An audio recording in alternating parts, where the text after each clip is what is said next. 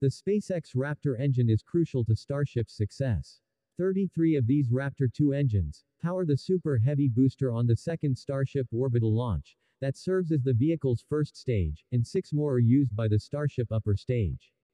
The SpaceX Raptor engine already enables the SpaceX Super Heavy Starship to have more than double the thrust of the Saturn V.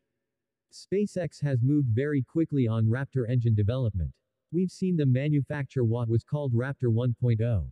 They have since upgraded to Raptor 2.0, that first of all increases performance and thrust and secondly reduces the amount of parts, reducing the amount of time to manufacture and test. They build these things very fast. It is imperative for a large-scale rocket launch, to have success as one of the possible outcomes.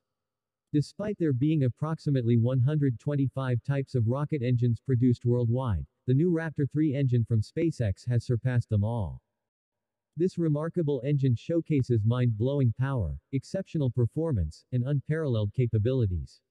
It has shattered global records and propelled SpaceX to unprecedented heights, solidifying its position as a pioneering force in the space industry. By revolutionizing the world of space exploration, SpaceX has provided the world with a breathtaking spectacle during the Raptor 3 engine test. The test footage displayed the engine's incredible strength and brilliance, leaving spectators in awe of its might. The Raptor 3 engine represents a significant leap in performance and pushes the boundaries of what is achievable in space travel. Generating an astounding thrust force of approximately 269 tons, and operating at a chamber pressure of 350 bars, it outperforms its closest competitor, Blue Origin's engine, which is expected to produce around 245 tons of thrust. This exceptional third-generation engine surpasses the capabilities of typical rocket engines, like the RS-25, 190 tons, and the RD 180, 182 tons combustion chambers. In addition, the Raptor 3 engine surpasses its predecessor, the Raptor 2 engine, by an impressive 18%. This remarkable improvement in performance demonstrates the sheer power of the Raptor 3 engine and SpaceX's unwavering commitment to innovation. By pushing the boundaries of rocket technology, SpaceX has achieved a record-breaking chamber pressure of 350 bars, surpassing even the mighty F-1 engines that propelled the iconic Saturn V rockets during the historic moon missions. In comparison, the Atlas V rocket's RD 180 engine, with a respectable chamber pressure of 267 bars, pales in comparison. While we cannot definitely say if this is the final version of the Raptor engine, or if it will be used in the second Starship test launch, the possibilities are endless for SpaceX. With fewer constraints, SpaceX can explore the realm of rocket physics where every ounce of thrust matters. Chamber pressure serves as the foundation for developing an engine with strong thrust. As the pressure within the combustion chamber increases, the propellants experience a more forceful ejection, resulting in greater velocity as they are expelled from the engine's nozzle.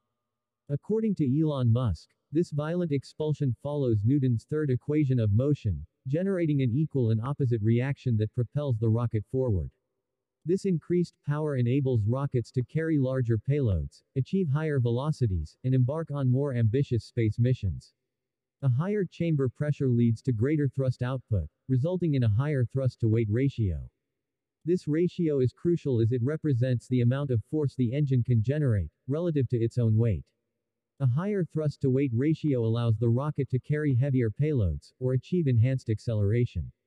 By expanding the range of missions it can perform, the Raptor engine has proven its importance in rocket propulsion.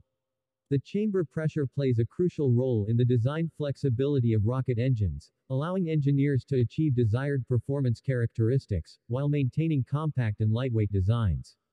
This flexibility is vital in constructing sophisticated launch vehicles, capable of fulfilling various mission objectives, including crewed missions, deep space research, and satellite deployments. Since its debut in 2016, the Raptor engine has undergone continuous advancements, becoming more powerful and efficient with each iteration. SpaceX's commitment to pushing the boundaries of rocket engine technology is evident in the evolution of the Raptor engine. The Raptor 1 engine served as a testing ground for innovative concepts, and its successful test firings marked a significant milestone in rocket engine technology in 2020. Building upon the success of the Raptor 1, SpaceX introduced the Raptor 2 engine, boasting increased thrust and chamber pressure, resulting in enhanced efficiency. However, the pinnacle of the Raptor engine series is the highly anticipated Raptor 3. This latest iteration represents a significant leap forward in engine development, showcasing improvements in performance, efficiency, and overall capability. With the Raptor 3, SpaceX aims to achieve even higher thrust and dependability, pushing the boundaries of rocket propulsion. As a result, there is bound to be a great deal of speculation about the future of Raptor engine iterations. Especially when it comes to the Raptor engines, SpaceX is always focused on rapid iteration and continuous improvement. While we don't have much information on SpaceX's long-term plans, I can speculate that Raptor 3 serves as a transitional phase for them. It allows SpaceX to gather valuable data and insights, while simultaneously working on further refinements of the engine.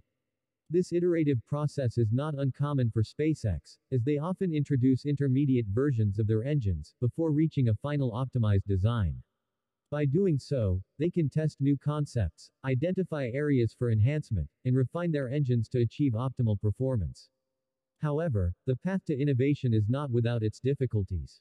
The development of the Raptor engines has faced challenges and engine failures. But despite these setbacks, SpaceX remains unwavering in their commitment to developing the Raptor engine.